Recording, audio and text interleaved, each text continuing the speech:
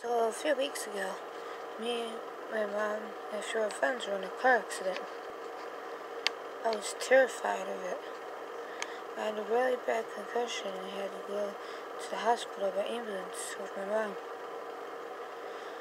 Both had whiplash, but my concussion was in the middle of my brain.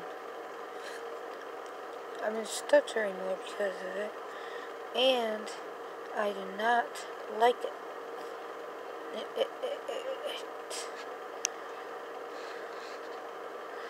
I barely let go in the cars beforehand, and now I do even more.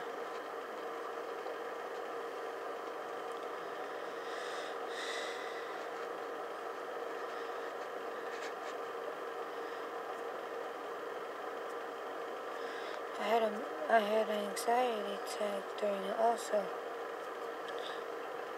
I wanted to move away from the car until my mom came over to me. It was terrifying.